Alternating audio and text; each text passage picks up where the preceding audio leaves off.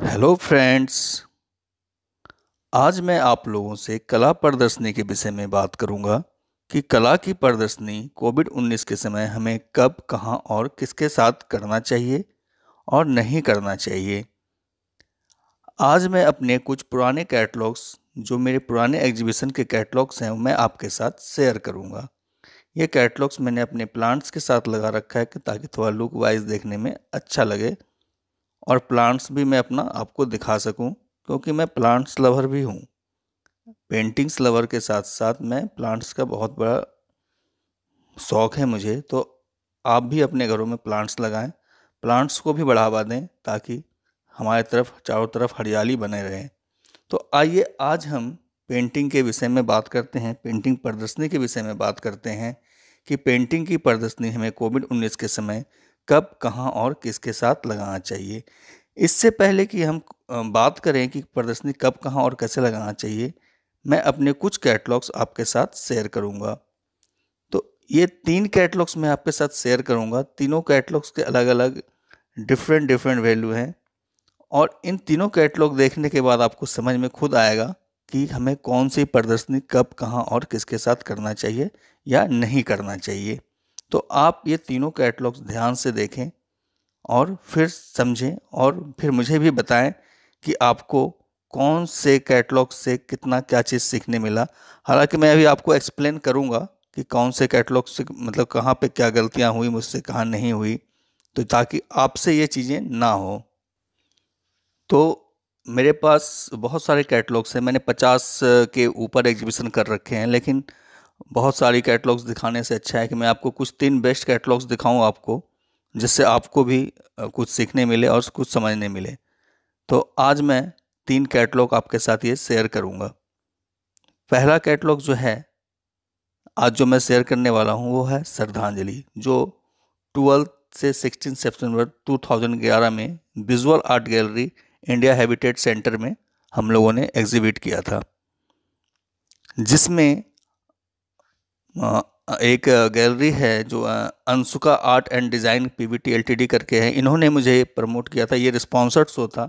उन्होंने मुझे एक चांस, एक मौका दिया था दिल्ली से लेके मतलब ऑल ओवर इंडिया से जो बड़े बड़े आर्टिस्ट थे उनके साथ एक एग्जीबिशन करने का मौका मिला था मुझे इसमें।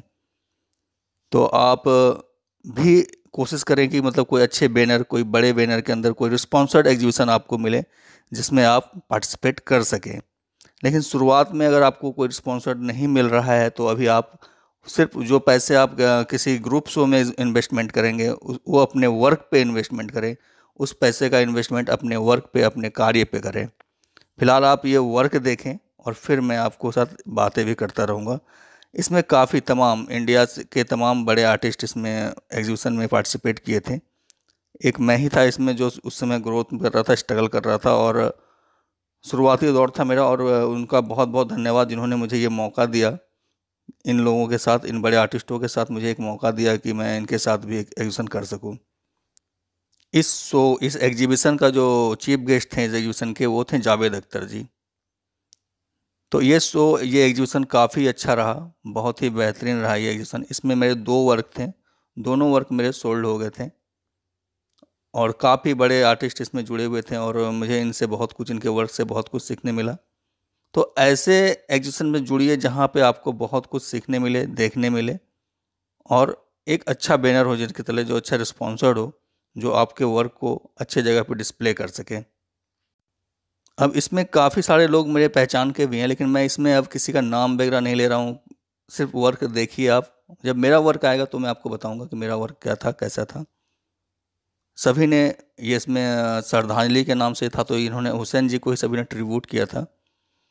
कई लोगों ने अपनी पेंटिंग बनाई थी, कुछ लोगों ने उनके जो चीज़ें वो लाइक करते थे, उनको लेके पेंटिंग बनाया। तो अभी जब मेरा वर्क आएगा तो मैं आपसे बात करूँगा। इसमें जो चीज़ें कैटलॉग में जो है, वो अल्फ़ाबेटिकल चलता है तो आप सोचोगे मेरा नाम कब आएगा? ये देखिए, ये मेरा कैटलॉग ये जो मेरा वर्क है जो हुसैन साहब का वर्क देख रहे हैं ब्रश के साथ, ये मेरा वर्क है। इसमें जितने कलाकारों ने वर्क किया है, उन्होंने नीचे कुछ कोटेशन भी लिखा है। मैंने भी इसमें एक कोटेशन लिखा था। वो बहुत ही प्यारा कोटेशन और बहुत ही प्यारा वर्क था ये। काफ़ी चर्चा में था ये वर्क बहुत ही वहाँ पे चर्चा में था ये कार्य तो मैंने इसमें जो कोटेशन लिखा था, वो लिखा था, पीढ़ी दर पीढ़ी चलता रहा ये सिलसिला, ना कलाकार मरा, ना उसकी कला। तो ऐसे सभी ने कुछ ना कुछ कोटेशन लिखा था, मैंने भी लिखा था। ये कार्य वहाँ पे बहुत ही सराहाया गया सब लोगों के द्वारा। और लोगों ने बहुत इसको पसंद किया वर्क को। और ये लास्ट में आर्टिस्टों के डिटेल्स होते हैं कि कौन से आर्टिस्ट कहाँ से हैं, क्या कर रखा है। अब हम सेकेंड कैटलॉग के बारे में बात करेंगे सेकेंड कैटलॉग डिस्प्ले करेंगे। फ़र्स्ट कैटलॉग से आपने और हमने यही सीखा है कि एक अच्छे बैनर एक अच्छे स्पॉन्सर्ड के अंदर अगर आप एग्जीबिशन करते हैं, अच्छे आर्टिस्टों के साथ अगर आप वर्क करते हैं एग्जीबिशन करते हैं तो आप जल्दी ग्रोथ करते हैं। अब ये हमारा सेकेंड एग्जीबिशन के कैटलॉग हैं। ये एग्जीबिशन भी, ये जो एग्जीबिशन है, ये भी visual art gallery India Habitat Centre में लोधी रोड में हुआ था 2013 में। अब 11 से 13 में आ गए हैं हम। इसके बीच में भी हमने काफ़ी एग्जीबिशन किए, लेकिन अब कुछ जो मेन है कैटलॉग वो दिखा रहा हूँ कि इसमें भी हम लोगों ने बहुत सारे खर्चे किए, बहुत सारे इन्वेस्टमेंट किए, और इसमें भी कुछ आर्टिस्टों के वर्क सेल हुए, कुछ के नहीं हुए। तो ये जो चीज़ें हैं हमने इसमें क्या किया? खर्चा खुद से किया। उसमें क्या था? वो एक रिस्पॉन्सर्ड शो था।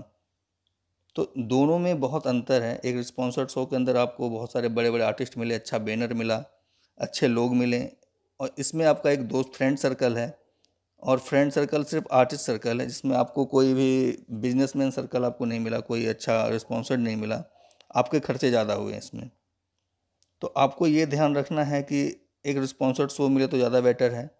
अपने पैसे लगाकर अभी एग्जीबिशन ना करें, क्योंकि अभी बहुत ही मुश्किल दौर चल रहा है कोविड उन्नीस के समय में तो अपने पैसे इन्वेस्टमेंट जो आप गैलरी में करो करोगे, उस पैसों को आप अपने पेंटिंग में इन्वेस्टमेंट करें, अपने स्किल में खर्च करें, ज़्यादा से ज़्यादा अपना स्किल डेवलप करें, उस पैसों को अपने वर्क में लगाएँ। एग्जीबिशन के लिए आप इंतज़ार करें अच्छे अच्छे गैलरी के साथ कांटेक्ट करें अच्छे अच्छे गैलरी को अपना वर्क मेल करें, अगर उनको आपका वर्क अच्छा लगेगा तो वो आपको ज़रूर स्पॉन्सर करेंगे। तो आप ये इंतज़ार करें। मैं इसमें भी बहुत सारे फ्रेंड्स हैं, मेरे सभी लोग फ्रेंड्स ही हैं लगभग इस कैटलॉग्स में, जितने भी आर्टिस्ट हैं, लगभग मेरे फ्रेंड्स हैं। तो मैं यहाँ पे किसी का नाम वगैरह नहीं ले रहा हूँ कि क्या है। मैं अपने वर्क के बारे में बताता हूँ। ये वर्क भी मेरा, इसके मेरे पाँच सीरीज़ थे, जिसमें से चार सोल्ड आउट हो चुके हैं। बस ये एक मेरे पास बचा हुआ है अभी। अब तीसरा और आखिरी कैटलॉग के विषय में बात करते हैं। ये वर्क मेरा बहुत अच्छा वर्क था, ये भी मेरे पास अभी रखा हुआ है। तो अब हम नेक्स्ट कैटलॉग के बारे में बात करेंगे और आप अंत तक बने रहें मेरे से ताकि मैं आपको बताऊँ कि आप मेरे साथ एग्जीबिशन बिल्कुल मुफ़्त, बिना पैसे खर्च किए आप मेरे साथ एग्जीबिशन कैसे कर सकते हैं। ठीक है? तो पहले मैं आपको अपना कैटलॉग दिखाऊँगा कि ये जो मतलब लास्ट कैटलॉग है मेरा, ये तीसरा जो कैटलॉग है, जो मैंने डिस्कवरी बीस तेरह में ये स्टार्ट किया था। तो इसमें मैंने क्या किया, देखा कि जब इसका नाम मैंने डिस्कवरी रखा और मैंने देखा कला और कलाकार मैंने बहुत सारे कला और कलाकारों को जोड़ा तो मैंने कहा इसका नाम discovery of art and artist ही रखूँगा मैं। तो फिर जो मैंने नेक्स्ट एग्जीबिशन किया discovery of art and artist के नाम से किए, और वो जो सिलसिला चला और अब चलता ही रहा, थमा नहीं फिर वो। हाँ बीच में मैंने अपने आप को स्टॉप लगाया कुछ, क्योंकि मैं चाह रहा था कि लोगों से पैसे लेके अब वर्क ना करें अब जो है वर्क जो करूँ मैं, उसमें अब लोगों को सपोर्ट करूँ, जो उतने आर्टिस्ट हैं, जो नए लोग हैं, जो मेरे जूनियर्स हैं, जो मेरे फ्रेंड्स हैं, उनको एक मौका मिलना चाहिए, उनको भी एक चांस मिलना चाहिए, जैसे लोगों ने मुझे दिया। तो मैं सोचा जो अब मैं भी जितने भी एग्जीबिशन करूँगा, जो भी गैलरी बुक करूँगा, उनमें उनका वर्क अब फ्री डिस्प्ले करवाऊँगा, जिनके वर्क अच्छे होंगे, जो मेरे मेरे को सपोर्ट किए थे जो शुरुआत में, जो दोस्त लोगों ने, जो मित्र अभी भी सपोर्ट कर रहे हैं, जो मेरे व्यूवर्स हैं, जो मेरे सब्सक्राइबर हैं जो अब इस चैनल के थ्रू भी जो मेरे साथ जुड़ रहे हैं, उन सबको एक चांस, उनको एक मौका दिया जाएगा मेरे साथ एग्जीबिशन करने के मेरे गैलरी में, जो भी गैलरी में बुक करूँगा दिल्ली एनसीआर से लेकर ऑल इंडिया ओवर में जहाँ भी तो मैं उनको भी अपने साथ मौका दूँगा। हर एग्जीबिशन में मैं फाइव आर्टिस्ट सेलेक्ट करूँगा जिनको मैं मुफ़्त, बिल्कुल फ्री में उसको रिस्पॉन्सर करूँगा। उनके पूरे खर्चे एग्जीबिशन के मैं उठाऊँगा। ये जो कैटलॉग आप देख रहे हैं, ये हमने सिक्स मई बीस तेरह को हमने ये ललित कला अकादमी गैलरी में, गैलरी नंबर सात और आठ में ये एग्जीबिशन किया था हमने। अब इसमें भी जो हैं, काफ़ी लोग मतलब जितने लोग हैं, लगभग मेरे फ्रेंड ही हैं तो मैं किसी भी फ्रेंड्स का नाम नहीं ले रहा, यहाँ पर सिर्फ़ वर्क देखिए आप। और कई सारे लोग मेरे साथ जुड़े, बहुत सारे लोगों ने सपोर्ट किया, उन सभी लोगों का बहुत बहुत धन्यवाद, जिन्होंने मुझे आगे बढ़ने में मेरी मदद की है। तो अब मैं इस चैनल के माध्यम से मुझे उस समय जानकारी नहीं था यूट्यूब के विषय में कि मतलब मैं यूट्यूब से जुड़ के भी अगर अपने दोस्तों, अपने लोगों को, अपनी कार्य को मतलब आगे बढ़ा सकता हूँ। अगर उस समय जानकारी होती तो शायद मैं और आगे बढ़ा होता। तो यूट्यूब के माध्यम से आज मैं सभी दोस्तों को धन्यवाद बोलना चाह रहा हूँ। आप सभी लोगों का बहुत बहुत धन्यवाद जो मुझे सपोर्ट करते रहे निरंतर। और अब मुझे और सपोर्ट की ज़रूरत है आपकी तो क्योंकि मैंने जो एक नया पहल चालू किया है, इसमें लोगों से पैसे नहीं लेने हैं। उनको भी उनके कार्य को भी एग्जीबिशन में शामिल करना है, उनको भी एक मौका देना है आगे बढ़ने के लिए।